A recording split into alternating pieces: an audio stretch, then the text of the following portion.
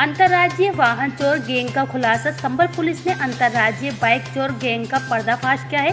Gang के पाँच शातिर बदमाश को गिरफ़्तार किया जिनके पास से 28 चोरी की बाइक, तीन अवैध तमंचा, छह ज़िंदा कारतूस व कटी हुई बाइक के पार्ट्स बरामद किए गए हैं। एसपी ने किया मामले का खुलासा।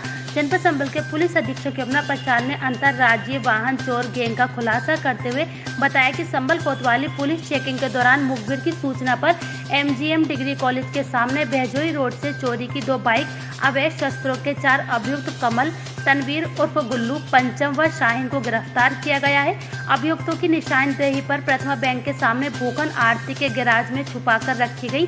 चोरी की 26 बाइक और बरामद की गई हैं। व गैराज की रखवाली कर रहे पांचवा अभियुक्त उमेश को भी गिरफ़्तार किया गया है, जहाँ से एक बाइक के कटे हुए पार्ट्स, चार अवैध तमंचा छह ज़िंदा कारतूस व एक चाकू भी बरामद किया गया है। एसपी ने बताया कि पूछताछ करने पर इन अभियुक्तों ने कबूला है कि ये दिल्ली, हरियाणा, गाजियाबाद व नोएडा आदि जनपदों में अस्पतालों, मॉल, रेलवे स्टेशनों, बैंकों के आसपास भीलवाड़ा वाले स्थानों पर निगरानी रखते हैं और मौका पाकर चाबी मिलाकर वह लोग को तोड़कर बाइक चुरा लेते थे। अन्य जनपदों में फर्जी नंबर प्लेट फर्जी लगाकर बाइक पंद्रह से बीस हज़ार में बेच देते थे। इन पाँचों अभियुक्तों पर विधिक कार्यवाही की जा रही है। बाइक चोरों की वारदातों पर अंकुश लगेगा।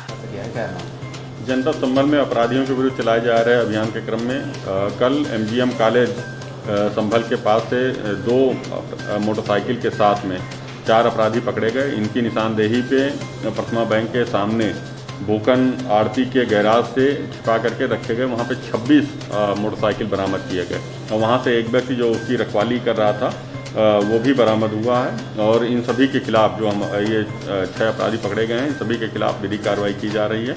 28 मोटरसाइकिल और तीन तमंचा छः कारतूस बरामद किए गए इनके कब्जे से। और ये सभी सात चोर थे। लगातार जगह जगह से बाइक उठाते थे। नोएडा, गाजियाबाद, दिल्ली से।